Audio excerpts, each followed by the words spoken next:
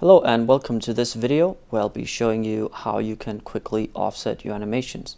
As you can see I've already created these two bones here and I want to uh, add a little animation to them.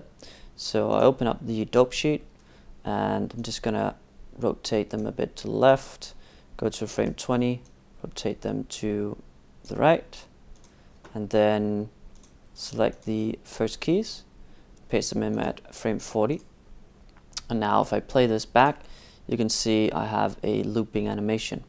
Let's say that I want to take the right bone here and I want to offset it so it starts uh, a little different than the, the left bone. So I'm just going to select all the keys with the right bone selected and move them, uh, let's say 5 frames.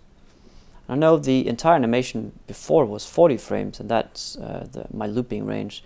So I'm just going to go to frame 40, set a key, and it will now take the value that was already up here and copy that key to frame 1 and delete the excess key here. And now if I play it back you can see it's now offset slightly. Now we can go in and, and do uh, the same thing again and just offset a little more. And I'm just going to offset it by let's say uh, 10 frames here. And then go to frame 40 again insert a key take that key and paste it in. And now delete the excess key here. And now as you can see I already have uh, the animation offset.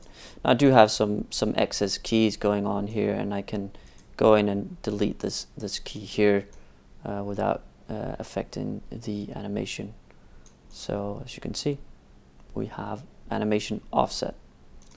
So and that is all there is to it really. Hope this uh, video has been helpful and stay tuned for more videos coming up soon